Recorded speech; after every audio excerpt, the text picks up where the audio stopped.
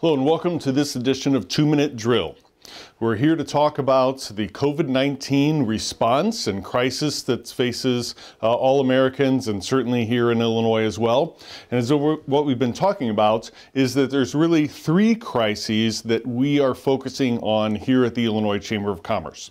The first is obviously the public health crisis. Uh, the governor's doing a great job keeping the public informed, uh, making sure that we've got good policies in place to keep people safe. But the area that we think that there needs to be more emphasis on is the economic crisis. 30 million Americans and 830,000 Illinoisans have applied for unemployment insurance in just the last few weeks. These are outstanding standing numbers that demand attention. So this economic crisis has got to get more attention. It's got a lot of attention in Washington. We think Springfield needs to come back to work and go ahead and uh, devise some strategies to deal with 830,000 Illinoisans uh, who have uh, filed for unemployment claims. So the Illinois Chamber is recommending the three R's. We talked about this last time responsible, reopening, and rehiring.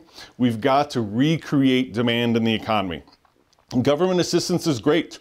Uh, the federal government has put a lot of money out there. The state programs have been helpful, but there's no substitute for recreating demand in the economy. You've got to do that through reopening and rehiring. So let me go ahead and talk about the third crisis which is rapidly jumping to the top of the charts in terms of businesses' uh, ability to go ahead and reopen and rehire, and that is the liability crisis.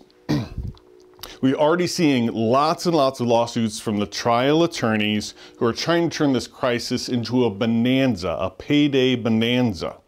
Uh, we saw it back in 2008, 2009.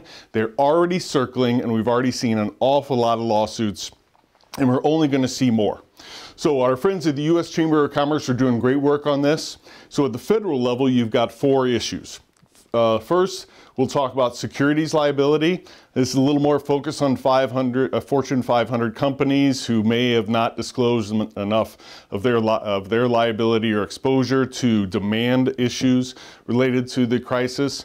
But local banks here in Illinois and across the country are also have exposure uh, the trial lawyers are coming in saying you didn't disperse the money from the Paycheck Protection Program in an equitable way.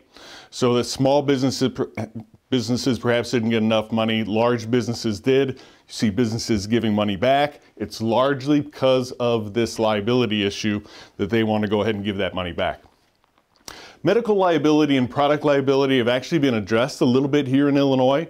Uh, I've been on a lot of conference calls where the governor's executive order that has put out limited liability protection for product and, and uh, medical, uh, that is uh, individuals that are on the front lines, nurses, doctors, EMTs that are really serving the, uh, the populace, uh, they are getting some uh, protections, as are uh, manufacturers that are moving into new products such as making masks, making ventilators. There needs to be more to be done on this, uh, but at least here in Illinois, and I think at the federal level, those are the two issues that have the most consensus uh, across the aisle to go ahead and address those issues. The biggest exposure for all of us, though, everyone in the business community, is exposure liability. Did employers do enough to go ahead and keep their employees and their customers out of the way of harm? We've, uh, you know, there have been CDC guidelines that have been out there. The vast majority of businesses are in compliance with those, but we know the trial bar is going to try and exploit any nook and cranny they can to go ahead and find, again, that paycheck through that lawsuit. Exposure liability is uh, the, the key thing. So for that reason, we're asking you to call Senator Durbin, Senator Duckworth, and express your support for Leader McConnell, who has come out and said liability protection has to be part of the next bill. So please go ahead and contact them. But there's also state exposure in this area as well. A tight federal bill still allows trial bar to go ahead and exploit state laws to go ahead and find a way to sue your business. It could be the False Claims Act, public nuisance lawsuits, other state consumer laws. So we need a state piece of legislation that will go ahead and clamp down on those abusive lawsuits as well.